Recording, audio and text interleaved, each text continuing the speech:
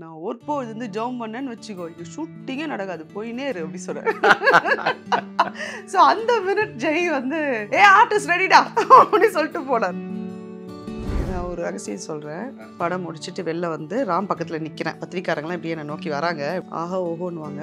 ஆனால் எனக்கு உங்கள் வேலை பிடிக்கலண்ணா. ஆனால் எல்லாம் பிடிச்சிருக்க மாதிரியே நீங்கள் சூப்பராக பண்ண மாதிரியே பேசுங்கண்ணா நல்ல என்னோட சைல்ட்ஹுட் வந்து ஸ்மூத்தானது கிடையாது. It was a difficult path அவ்வளோ கஷ்டங்களுக்குள்ளேயும் என் தலைக்குள்ள வந்து I use to dream big blue star உங்களை முதல்ல ஒத்துக்க மறுக்கும் போது விடாப்புடியா இல்லை நான் பண்ணியே தீருவேன்னு நின்னதுக்கான காரணம்? அஃப்கோர்ஸ் கோவம் வந்துச்சு. இந்த பாயிண்ட்ல வந்து இது உனக்கு வருமா? இது நீ பண்ணுவியா? அப்படின்னு சொல்லும்போது நான் அந்த கேரக்டரோட தான் வளர்ந்துருக்கேன் எங்க அம்மா. சரியா? என்ன ஏன் ஏன் ஏன் வராது? எனக்கு புரியல. சான்ஸ் கேட்டு நான் போனதில்லை. ஒரு படம் கூட போனதில்லை. ஏன்னா கேட்டு போகும்போது அதுக்கு மரியாதை இல்லை. அப்புறம் தான் வந்து ராம பத்தி பயங்கரமா சொன்னாங்க. என்ன சொன்னாங்க பயங்கரமா? அவரு ஒரு சைக்கோ சொன்னாங்க.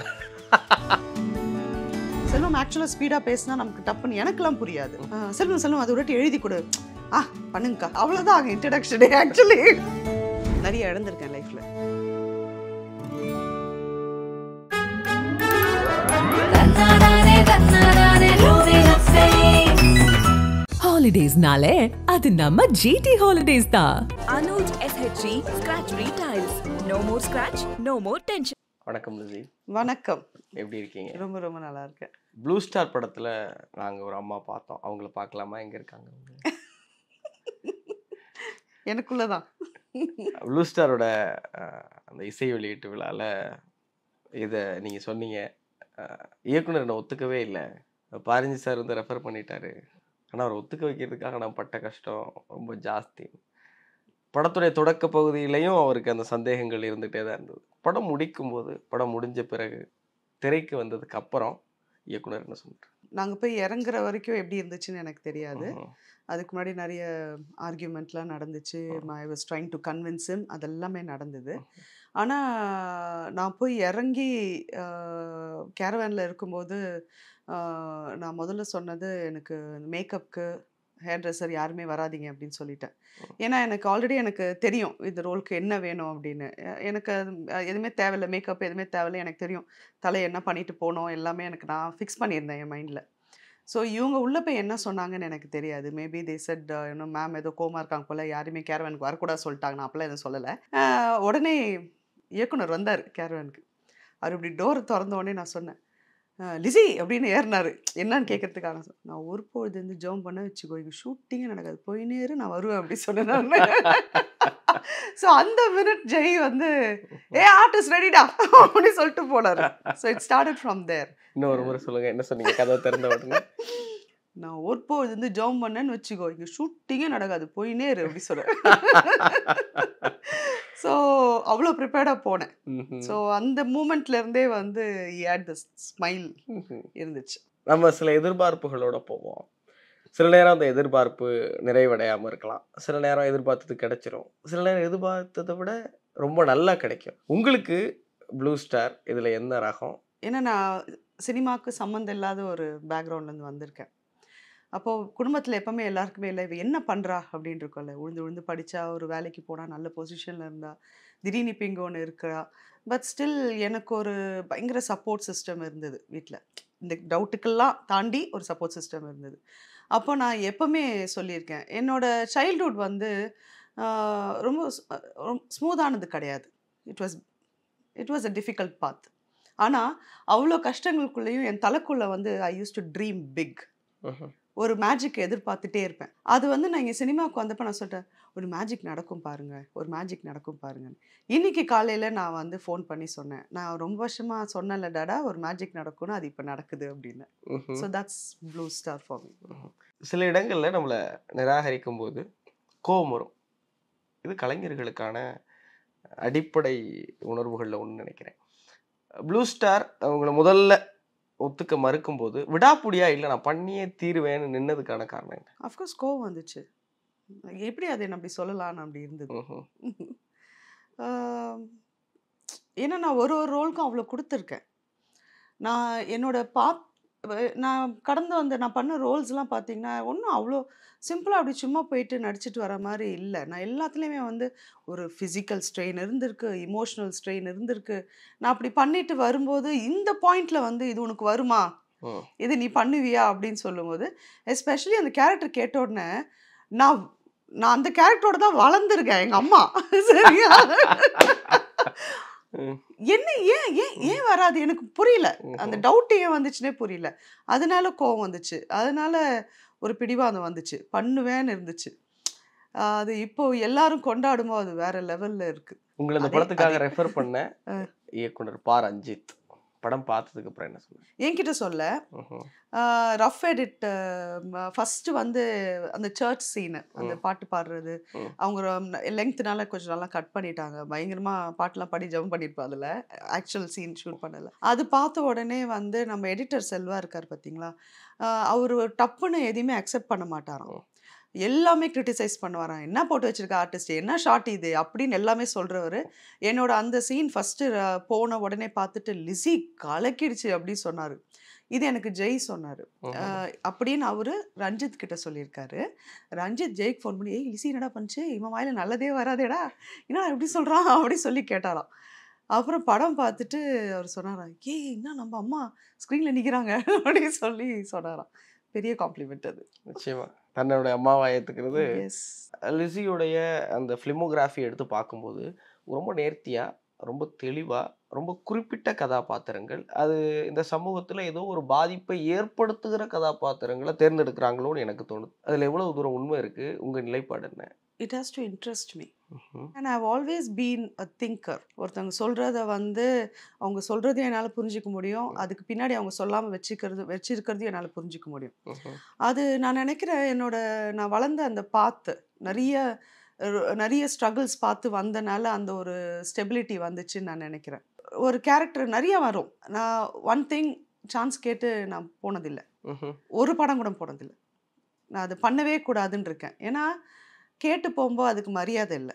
நெக்ஸ்ட்டு கேட்டாங்க சொல்லி ஏதோ கொடுப்பாங்க. அப்போது நமக்கு ஒரு இது இருக்குது ஐயா அது நான் பண்ண மாட்டேன் சொல்லுவேன் அது எவ்வளோ எவ்வளோ அப்போ ஏன் கேட்டேங்கிற மாதிரி இருக்கும். ஸோ அது எ- என்னோட லைஃப்பில் என்னோட ஃபஸ்ட்டு ஜாப்லேருந்து எதுவுமே நான் அப்ளை பண்ணி தேடி போய் போனதில்லை. என்னோட ஃபஸ்ட்டு ஜாப்லேருந்து என்ன நோக்கி வந்தது எல்லாமே. ஸோ என்னை நோக்கி வந்ததை எடுத்து நல்லா பண்ணேன் நான். So I am that kind of a person first thing next வந்து ஏதாவது ஒரு ஸ்பார்க் வேணும். இப்போ ஒன்று பண்ணுறேன் என்ன சொல்கிறது சுற்றி சேது மாறன் அப்புறம் நம்ம எம்எஸ் பாஸ்கர் சார் அப்படி இம்ப்ரவைஸ் பண்ணி அப்படி வையாபுரி சார் பயங்கர கல கலன்னு போகுது எனக்கு நான் இது வரைக்கும் பண்ணாத ஒரு விஷயம் இது. டேரக்டர் வந்து சீன் பேப்பர் தரும்போ சுச்சுவேஷன் மட்டும்தான் இருக்குது டைலாக்ஸே கிடையாது.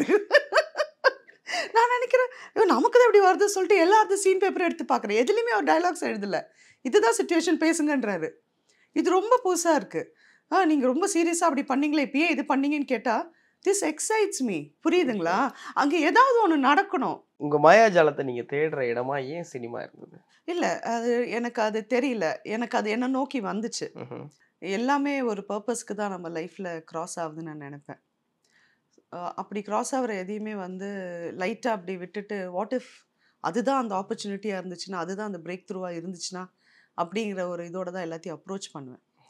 அண்ட் இது எனக்கு வந்தப்போ ஒன்று ஒன்றா இதை பற்றி நான் பேச ஆரம்பித்தேன் புரிஞ்சிக்க ஆரம்பித்தேன் அப்போ இது எவ்வளோ பெரிய விஷயங்கிறது வந்து எனக்கு ரொம்ப ஷாக்கிங்காக இருந்தது. அது எப்படி நமக்கு தானே வந்துச்சு அது. அப்படிங்கிறது. அப்போது அது போய் பார்க்கணும் அப்படின்னு நினச்சி சின்னதாக தான் ஆரம்பித்தேன் லைக் ராம் சார் ஆஃபீஸில் போய் அவர் அவர் ஸ்கிரிப்ட் நரேட் பண்ணுறதை உட்காந்து கேட்க ஆரம்பிச்சதுலேருந்து அவர் கொடுத்த ஒர்க் ஷாப்ஸு அவர் எப்படி என்னை ட்ரெயின் பண்ணார் கம்ப்ளீட்டாக அவர் எல்லா வாட்டியும் அவர் செல்லமாவாக இருப்பார். நான் ஸ்டெல்லா மிஸ்ஸாக இருப்பேன். ஸோ நாங்கள் அந்த ரிஹர்ஸ் பண்ணுறது இ ப்ரிப்பேர்ட் மீ அண்ட் ரொம்ப எக்ஸைட்டிங்காக இருந்துச்சு இந்த ப்ராசஸ்ஸே அது வரைக்கும் இல்லாத என் லைஃப்பில் நான் பார்க்காத ஒரு ஒரு ஒரு பயங்கர ஒரு ஒரு சாட்டிஸ்ஃபைங்காக இருந்தது. ரொம்ப அழகா உங்க சினிமாவை நீங்க காதலிக்கிறீங்க. முதல் சந்திப்பு ராம் அவர்களோட உள்ளத நினைவுபடுத்தி இப்ப சொல்ல முடியுமா? எப்படி இருந்தது? மறக்கவே மாட்டேங்க. ம்ஹும். பெல் அடிச்சப்போ கதை திறந்தது செல்வம். உள்ளே போய் உட்காந்து ஏன்னா அந்த அழைப்பு எப்படி வந்தது? அது என்ன வந்து நான் ஒரு ஃப்ரெண்டை வேற ஒரு ஆஃபீஸில் வந்து ட்ராப் பண்ண போவேன். அங்கே நின்று நான் சும்மா இதை இது மாதிரி இப்போ தான் பேசுகிறேன் லொட லொடன்னு அந்த மாதிரி பேசுறது ஒரு மேனேஜர் பார்த்து அவர் வந்து இல்லை அந்த அவர் ராம்க்கு வந்து ஸ்டெல்லா மிஸ்ஸுக்குன்னு ஒரு ஐடியா இருந்தது. ஒரு சிந்தனை இருக்கு. அப்படியே நான் இருந்தேன்னு அவர் ஃபீல் பண்ணி அவர் போய் சொல்லி அங்கே ஆடிஷனுக்கு போன என் ஃப்ரெண்டு நம்பர் எடுத்து அவரை காண்டாக்ட் பண்ணி என்னோட லேண்ட்லைன் நம்பர் வாங்கி அப்படி தான் அந்த கால் வந்தது. ஸோ ஃபஸ்ட்டு வரும்போது I thought someone was pranking me. ஏன்னா நல்ல நண்பர்கள் இருக்காங்க. என் சைல்ட்ஹுட் ஃப்ரெண்ட்ஸ் அமேசிங் ஃப்ரெண்ட்ஸ் இருக்காங்க. நல்லா பண்ணுவாங்க அதெல்லாம். அப்படி தான் நினச்சேன் அப்புறம் பார்த்தா இட் வாஸ் ராம். மேனேஜர்லாம் கிடையாது. ராம் வாஸ் காலிங் அது வரைக்கும் திரைத்துறை பக்கம் செயல்படணுங்கிற ஆர்வமோ எண்ணமோ இருந்ததா? எனக்கு இதுக்கு சம்மந்தம் இல்லை. ஃப்ரெண்ட்ஸ் இருக்காங்க. ஃப்ரெண்ட்ஸ் எல்லாம் தெரியுமே தவிர்த்து எனக்கு இதுக்கு எந்த idea இல்லை. வாய்ப்பே இல்லை. ஸோ அப்படி தான் வந்தது. அப்புறம் தான் வந்து ராமை பற்றி பயங்கரமாக சொன்னாங்க. சரி போய் தான் பார்ப்போம் அப்படி சொல்லிட்டு நான் போனேன் என்ன சொன்னாங்க பயங்கரமா அவர் ஒரு சைக்கோ சொன்னாங்க இது நான் சொல்லியிருக்கேன் இன்டர்வியூல நான். கட்டுரை தமிழ் பார்த்தியா ம். அந்த ஹீரோ இருக்கார்ல. வந்தாராம் அப்படி ம். சொன்னாங்க ஐயோ கட்டுரை தமிழ் பார்க்கலையே அப்படி சொன்னேன் சரி. பார்த்துருவோம் அப்படி சொன்னேன் கட்டுரை தமிழ் பார்த்தேன் நான். ஐயோ இப்படியா அப்படி சொன்னேன். சரி அப்புறம் பயங்கர இன்ட்ரெஸ்டிங்காக போய் பார்த்துருவோம் அப்படி சொல்லி தான் போனேன் ஆனால் பாவங்க அவர் அவங்க ஹைட்டாக இருப்பார் வெயிட்டாக இருப்பார் தாடி வச்சிருப்பாரு. வாய்ஸ் பயங்கர பேஸாலாம் இருக்கும். ஆனால் அவர் வந்து இஸ் ஆக்சுவலி வெரி சாஃப்ட் குழந்தை தான். ஆமாம் தொடர்ந்து பயணிக்கிறதுன்னு ஒன்று இருக்கு. அது இயக்குனர்கள் கதாபாத்திரங்களுக்குள்ள சில மனிதர்களை தேடுவாங்க. அது பிடிக்கும் பட்சத்தில் தான் அந்த தொடர் பயணம் நீட்டிக்கும். தரமணியில் உங்களுடைய அந்த அது ஒரு ஒன்பது நிமிடம் வரும்னு நினைக்கிறேன் அந்த காட்சி. அது பார்க்குற எல்லாரையுமே அந்த அந்த காட்சிக்கு சம்மந்தம் இல்லாமல் இருக்கிற அந்த கதாநாயகன் நம்ம வாழ்க்கையை சம்மந்தப்படுத்தி ஒரு புலம்பல் அங்கே ஏற்படும். இது அந்த கதாநாயகனுக்கு மட்டுமானா இல்லை பார்வையாளர் எல்லாருக்கும் ஏற்படுகிற புலம்பல். அங்கே வந்து ஆண்கள் வர்க்கத்தின் மேலே பெண்கள் வச்சிருக்கிற ஒரு மனநிலையை சட்டுன்னு செருப்பால் அடிப்பீங்க. ஆம்பளைக்கு வரையில் என்ன தெரியும் அப்படிம்பீங்க நீங்கள் அந்த அந்த உணர்வுகள்லாம் நீங்கள் சொன்ன மாதிரி சிச்சுவேஷன் கொடுத்து டைலாக்ஸ் இல்லாமல் பேசுங்கன்னு சொன்ன மாதிரி தான் இருந்தது. அது எப்படி இயக்குனர் ராம் இயக்குனார்? அதை எப்படி நீங்கள் செஞ்சீங்க? அது அது எப்படி அமைஞ்சது அந்த காட்சி? இல்லை ராம் வந்து எப்பவுமே சொல்லுவார் உங்ககிட்ட நிறைய ஒரு டெப்த் இருக்குது அப்படின்னு அவர் சொல்லுவார். அவர் சொல்லி சொல்லி நான் நம்பினேங்க சீரியஸாக எனக்கு இதெல்லாம் வரும்னே எனக்கு தெரியாது. ஆனால் ராம் அதை வந்து திரும்ப திரும்ப எனக்கு சொல்லி புரிய வச்சார். நான் எனக்கு ஈஸியாக இது வந்தனால நான் நினச்சேன் எல்லாருக்குமே இது வரும் அப்படின்னு நினச்சேன். எல்லாராலையும் டைலாக் பேச ஏன்னா எனக்கு it was effortless for me. Touch wood it was effortless for me எனக்கு அது ஒரு ஃப்ளோவில் அப்படி வந்துச்சு. ஒரு அப்போ ராம் சொன்னார் இல்லை இது எவ்வளோ பெரிய கிஃப்ட்டுன்னு அப்படின்னு அவர் எனக்கு புரிய வச்சார் ஃபஸ்ட் டைம் அண்ட் அந்த சீனுக்கு வந்து ராம்க்கு தெரியும் எனக்குள்ளே இருக்குது அந்த பெயின் அந்த இதெல்லாம். நீங்கள் நட் நீங்கள் எப்பவுமே நடிக்க மாட்டீங்க sir you just bring it out அதை பண்ணுவீங்க நீங்கள் அப்படின்னாரு. நெக்ஸ்ட் வந்து எனக்கு அவங்களோட அந்த இன்ட்ரல் பிளாக் அந்த சீனை வந்து போட்டு என்னை பார்க்க சொன்னார். ஷூட்டுக்கு முன்னாடி அதாவது ஒரு ஒன் இயர் பேக் வந்து சொல்கிறாரு அடுத்த படம் பண்ணுறது எல்லாமே இதில் ஒரு பயங்கரமான ரோல் இருக்குது நீங்கள் தான் பண்ணணும் அப்படின்னு சொல்கிறாரு இன்னும் அவருடைய பதிவேட்டில் நீங்கள் ஸ்டெல்லா மிஸ் தானா? ஆமாம்மா. அது எப்பவுமே அப்படி தான் அவர் என் அவருக்கு என் பேர் தெரியாதுன்னு நினைக்கிறேன். மறந்துச்சு நினைக்கிறேன். நிறைய மேடையில் அசிங்கப்பட்டிருக்கேன் இதுக்கு நான். ஸ்டெல்லாம் சாரி உங்கள் பேர் என்ன அப்படின்னு இப்படி இருக்கும். ஆடிட்டோரியமே பார்க்கும். அண்ட் அவர் கூப்பிட்டு ஒரு ஒன் இயர்க்கு காலே இல்லை. ஒன் இயர்க்கு கால் வரல. திடீர்னு ஒரு நாள் செலவஸ் ஊரில் இருக்கீங்களா? இருக்கேன் நாளைக்கு ஃப்ரீயா ஆ ஃப்ரீ நாளைக்கு ஷூட்டிங் போகிறோம் ஆஃபீஸ்க்கு வாங்க. ஆஃபீஸ்க்கு போகிறவர் அந்த சீன் பார்க்க வச்சாரு. ஐ மீன் அவர் போட்டுட்டு அவர் போயிட்டாரு. செலமிஸ் பாருங்க அப்படி சொல்லிட்டு போனார். ரொம்ப பியூட்டிஃபுல்லாக பண்ணியிருந்தாங்க. ஆண்ட்ரியாவுக்கும் வசந்துக்கும் அந்த லிட்டராக எனக்கு ஃபீல் ஆச்சு அது. ஒரு மூணு வாட்டி நான் போட்டு பார்த்தேன். பார்த்துட்டு போனேன் உட்காந்தேன் கரெக்டாக பவர் கட் ஆச்சு. அப்போது அப்போ வந்து என்னோட ஒரிஜினல் முடி வந்து களி களியாக இருக்கும். அப்போ நான் ஃபுல்லாக எடுத்து ஒரு பொடி டெயில் மாதிரி போட்டேன். சிலமஸ் இதுதான் ஹேர் ஸ்டைல் ட்ரெஸ்ஸு நான் சொல்ல உங்கள் உங்கள் குர்தா சைஸ் என்னது? மீடியம் ராம். ஆ டபுள் எக்ஸ்எல் ஒரு kurta. Ram Ram medium Ram. Double XL ஒரு குர்தா. வாங்குங்க அப்படின்னாரு. அந்த ஒரு ரோலுக்கு இப்படி தான் ரெடி ஆனோம். எத்தனை சூப்பர் சொல்ல சொன்னாரு இல்லை அவர் சொல்லலை. நானும் எதிர்பார்க்கல. நான் ஃப்ளோவில் போனேன்.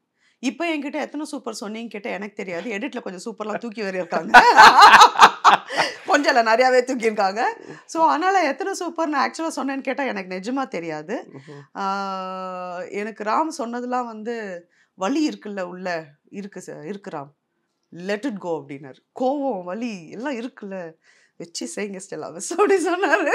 Right come let's do it அப்படி சொன்னேன் நான் அந்த அவரை போய் வச்சு அந்த கத்துற சீன் வந்து கத்தி கூப்பாடு போடுவேன். கத்துடி அப்படின்னு வரல. அப்போ ஆக்சுவலாக ராம் என்ன அம்மான்னு தான் கத்த சொன்னார். அந்த இடத்துல எனக்கு அம்மா வரல. அது பர்டிகுலர் ராம் சொல்லிட்டே இருந்தார். அம்மான்னு கத்துங்க. இம்பேக்டாக இருக்கும். அம்மான்னு கத்துங்கன்னு. எனக்கு அம்மா வரல. ஐயோன்னு தான் கத்த தோணுச்சு எனக்கு. இல்லை அவர் எனக்கு மானிட்டர் பார்த்துட்டு ராவ் ஸ்டெலா மிஸ் ஆர்டிஸ்ட் ஆயிட்டீங்க சொற்கள். யூனிட்டே அப்படியே கை தட்டுச்சு. ராம் சொன்னோன்னே நல்லா இருந்தது மூச்சு விடாம அத்தனை சூப்பர். அந்த சூப்பர் வந்து வஸ்ட் அப்படிங்கிற வார்த்தையுடைய உடையை போட்டுக்கொண்ட ஒரு சொல். அது வந்து அது ஒட்டுமொத்த ஆண் சமூகத்துக்குமான ஒரு அருவருப்போடு கொடுக்கப்படுகிற ஒரு கைக்குலுக்கள் அது வரணும்னா அது அந்த அளவுக்கு உள்ள இருந்திருக்கணும். அதை உணர்ந்து சொல்றதுன்னு இருக்குல்ல. அப்போ உங்களை எப்படி தயார்படுத்திக்கிறீங்க நீங்க? உங்களுக்கு எதுக்கு வாழ்க்கை என்ன அவ்வளோ நல்லாவா இருந்துச்சுன்னு ராம் கேட்டிருக்காரு. இது தங்க மீனில் கேட்டார். ஏன்னா அவ்வளோ சந்தோஷமா வாழ்ந்துட்டு வந்துட்டீங்க. உங்க கிளிசரின்லாம் தேவையா என்ன அப்படின்னாரு. ஃபஸ்ட்டு டைம் கேமரா முன்னாடி நான் அழுவணும் ஃபஸ்ட்டு டைம் லைஃப்பில் அதாவது நம்ம வழியில் நம்ம அழுகிறது உள்ளுக்குள்ள அழுது எனக்கு வர எல்லாரும் முன்னாடி அழுதாலாம் அவர் பிடிக்காது. நான் எப்பவுமே சின்னதுலேருந்து ரூமில் போய் தனியாக போய் அப்படி இருக்கிற ஒரு ஆள் நான். பார்க்கக்கூடாது. நம்மள எப்பவுமே வந்து திமுறா தான் பார்க்கணும் அப்படின்னு நினைக்கிற ஆள் நான். நம்ம ஆமாம் ஸோ அப்படி இருக்க என்னை வந்து ஸ்க்ரீனில் கேமராமேன் நிப்பாட்டி வச்சு அழுவணுமோ என்ன ராம் பண்ணுறது போங்க. அங்கே ரூம் அங்கே தூரத்தில் அந்த ஷார்ட் கட் பண்ணிட்டாங்க. ஆக்சுவலாக தங்க மீன்களில் வைக்கல அது. அந்த ஸ்டெல்லா மிஸ் ஏன் இவ்வளோ கடுமையாக இருக்காங்க அப்படின்னு ஒரு பேக் ஸ்டோரி இருக்குது அது படத்தில் வைக்க முடியல.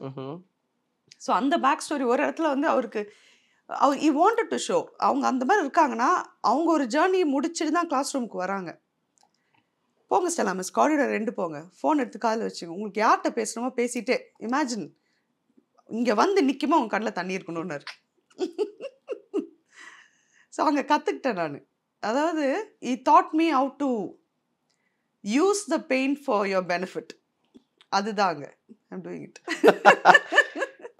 ராம் சமூகத்தில் தவிர்க்க முடியாதுன்னு சொல்ல மாட்டேன். தவிர்க்கக்கூடாத ஒரு இயக்குனர்னு என்னோட மனநிலை.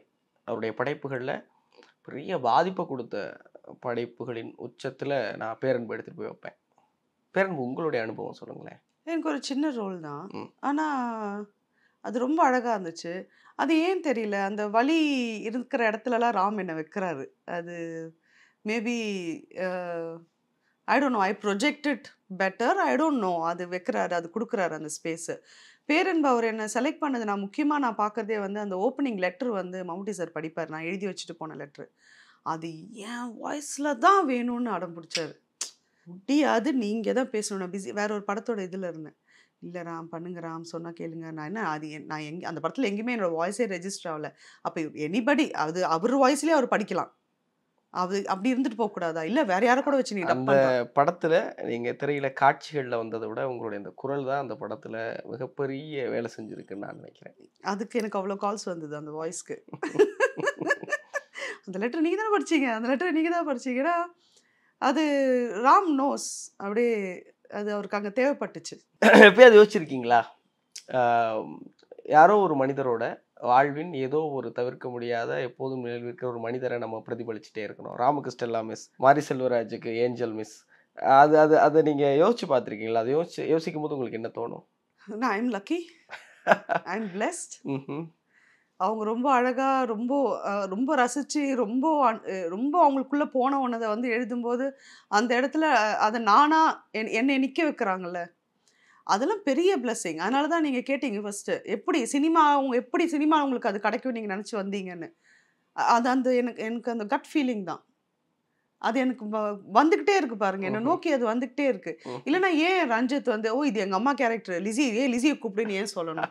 இருக்குல்ல. அது வந்து நடக்குது. அது இன்னும் பெருசாலாம் நடக்க போகுது எனக்கு தெரியும். நிச்சயமா. வாழ்த்துக்கள். you. ரொம்ப நாங்கள் ரொம்ப ரசிக்க காத்திருக்கோம். என்ன சொன்னார் மாரி செல்வராஜ்? அவரா? செல்வம் வந்து நான் போய் ஷார்ட்டுக்கு நிற்கும் போதே எனக்கு எதுவுமே சொல்லலை ஆக்சுவலாக ம். ஷார்ட்டில் நிற்கும் போது தான் செல்வம் வந்து படபட படபடன்னு சீனை சொல்கிறாப்புல. அதனால் அப்போ வந்து செல்வம் தான் அந்த திருநெல்வேலி லாங்குவேஜ் செல்வம் ஆக்சுவலாக ஸ்பீடாக பேசினா நமக்கு டப்புன்னு எனக்கெல்லாம் புரியாது. செல்வம் செல்வம் அது வாட்டி எழுதி கொடு. ஆ பண்ணுங்கக்கா. அப்படின்னு ஏ அவன் அக்காலாம் கலக்குவாங்க அப்படின்னு சொல்லிட்டு அவ்வளோதான் அங்கே இன்ட்ரடக்ஷனே ஆக்சுவலி நிற்கிறீங்க பேர் படிக்கிறீங்க. இது மாதிரி அவர் எந்திரிச்சு எப்படி சொல்லுவார் பிஏ பிஎல் மேல ஒரு கோடு அப்படி சொல்லி சொல்லுவார். அது அந்த அப்படியே ஒரு ஃப்ளோவில் போச்சு. எதுவுமே பர்டிகுலராக உட்காந்து பேசலை டிஸ்கஸ் பண்ணலை எதுவுமே பண்ணல. ராம் சொன்னார் தம்பி ஃபர்ஸ்ட் படம் பண்ணுறான் போங்க நம்ம எல்லாரும் இருந்தாவணும் இதில் அப்படின்னாரு. அந்த ஸ்டாஃப் ரூம் சீன் ம். வெய் என்னடா? அவர்கிட்ட பேச மாட்டேங்கிறேன் அவன் ஏன்டா? அதை எப்படி நரேட் பண்ணாரு மாரி செல்வராஜ் நீங்க அதை எப்படி டெலிவரி பண்ணீங்க? நம்மலாம் காலேஜ் எல்லாம் படிக்கும்போது இந்த மாதிரிலாம் ஒரு ப்ரொஃபஸரோ டீச்சரோ இருந்திருந்தாலும் நல்லா இருந்திருக்கும். நம்ம ரொம்ப யோசிச்சிருந்துருக்கோம். ஸோ அவ்வளோ அண்டர்ஸ்டாண்டிங்காக ஒரு ப்ரொஃபஸர் வா நம்ம தான் அது. அப்படி சொல்லி. அப்படி ஒரு ஆசிரியர் பார்க்க முடியாது. அதனால நம்மளா மாறிட வேண்டியது ஆமா ஜாலியாக பண்ணது தான் அது. பெருசா மெனக்கடலாம் இல்லை. ஆக்சுவலாக பரியன் பெருமாளை எதுக்குமே நான் வந்து பெருசா நீங்க அதுல ரொம்ப ரொம்ப இலகுவா ரொம்ப. எளிதா ரொம்ப யதார்த்தமா சும்மா நடிச்சிருப்பீங்க. அதுதான் அந்த காட்சிகளை ரொம்ப அழகுபடுத்துச்சுன்னு கூட நான் நினைக்கிறேன். நான் ஒரு ரகசியம் சொல்கிறேன். படம் பார்த்தோம். தேட்டரில் வந்து ஃபஸ்ட் டே ராம் சொன்னார் நாளைக்கு ஃபஸ்ட் டே ஃபஸ்ட் ஷோ நாங்கள்லாம் போகிறோம் நீங்களும் வந்துருங்க அப்படின்னாரு. படம் முடிச்சுட்டு வெளில வந்து ராம் பக்கத்தில் நிற்கிறேன் பத்திரிக்காரங்களாம் இப்படியே என்னை நோக்கி வராங்க இப்படி வராங்க. சில மிஸ் ஆஹா ஓஹோன்னுவாங்க. ஆனால் எனக்கு உங்கள் வேலை பிடிக்கலண்ணா. ஆனால் எல்லாம் பிடிச்சிருக்க மாதிரியே நீங்கள் சூப்பராக பண்ண மாதிரியே பேசுங்கன்னாரு. நல்ல வாழ்க்கை. சரி. பெருசாக ஒன்றும் நீங்கள் எதுவும் பண்ணல. ஆ ஓகே. மேபி ஆர்ப்பாட்டமாக ஒரு சீன் கூட எனக்கு தரலங்கனால ராம்க்கு வந்து டிசப்பாயின்மெண்ட் ஆச்சு. ரொம்ப லைட்டாக வந்துட்டு லைட்டாக போயிட்டாங்க ஸ்டெல்லா மிஸ் என்னது இது? அப்படிங்கிற மாதிரி ஃபீல் பண்ணாரா என்னன்னு தெரியல. ஆ, பெருசாலாம் நீங்கள் எதுவும் பண்ணல. ஆனால் அவங்களாம் பயமாக பேசுவாங்க. அதனால் நீங்கள் போங்க. எல்லாம் வந்து நாங்களும் அது மாதிரி சொன்ன மாதிரி நீங்கள் சொல்லிட்டுங்க அப்படின்னு சொன்னேன் ராம் சரி ராம். அவர் சொல்லி முடிக்கல. காலேஜ் பசங்க கொஞ்சம் பேர் வந்தாங்க. அதில் ஒரு பொண்ணு குடுன்னு ஓடி வந்துட்டு மேம் மேம் உங்களை நான் கட்டி பிடிச்சிக்கிட்டுமா ப்ளீஸ் ப்ளீஸ் ஒரே வாட்டி கட்டி பிடிச்சிக்கிட்டுமா அப்படின்னு நான் நடி திரும்பி ராம பார்த்தேன். அவர் சிரிச்சுட்டே போயிட்டாரு. ஸோ அது ரொம்ப லைட்டாக போய் பாடின படம் அது. நிறைய கதாபாத்திரங்களை நீங்க பிரதிபலிச்சுட்டே வர்றீங்க நிறைய கதாபாத்திரங்கள் உங்களை அழகாக்கி இருக்கு நிறைய கதாபாத்திரங்கள் நீங்க அழகாக்கி இருக்கீங்க அது அந்த படத்தை அழகாக்கி இருக்கு அது பார்க்குறவங்கள அழகாக்கி இருக்கு என்ன செய்யணும்னு விரும்புறீங்க லெசி? நிறையா இருக்குது பிளான் இங்கே சினிமாவில் இதை தவிர்த்து இப்போ நான் வேறு எதுவும் யோசிக்கிறது இல்லை. எனக்கு இது மட்டும் தான் கம்ப்ளீட்டாக. So and I don't believe in talking about it up front எனக்கு as the journey goes I. Speak about நீங்கள் என்னோட சோஷியல் மீடியா ப்ரொஃபைல்லாம் பார்த்தீங்கன்னா இந்த ஷூட்டுக்கு போனோன்னே ஃபோட்டோ போடுறது போக ஆரம்பிக்கும் போது அதை பற்றி பேசுறது. நான் ஒரு ஷூட்டுக்கு போகிறேன்னு சொல்லுவேன். நியூ நியூ மூவி அப்படி சொல்லி போடுவேன் வழி அதை பற்றி எதுவுமே சொல்ல மாட்டேன். I don't I am that way நிறைய இழந்திருக்கேன் லைஃப்பில் அதனால் அதை பற்றி பேச மாட்டேன். மகிழ்ச்சி. உங்களுடைய அடுத்தடுத்து வர எல்லா படைப்புகளையும் பார்க்க நாங்க ரொம்ப அவளோட காத்திருக்கோம். வாழ்த்துக்கள். தேங்க்யூ நடிகர்ல இருந்து வேற பரிணாமங்களுக்கு போகிற விருப்பம் இருக்கா? டெஃபினட் ஐம் குட் எக்ஸ்ப்ளோர் சினிமாவில் எல்லாமே நான் எக்ஸ்ப்ளோர் பண்ணுவேன். கண்டிப்பாக பண்ணுவேன். எது முதல்ல? சொல்ல மாட்டேன். வாழ்த்துக்கள். உங்க நேர்காணலுக்காக எப்போதும் காத்திருக்கோம். தேங்க்யூ ரெட் நூல் சார்பா நீங்க செய்த செய்து கொண்டிருக்கிற செய்ய போகிற அனைத்து பணிகளுக்கும் அன்பு நிறைந்த வாழ்த்துக்கள். Thank you thank you so much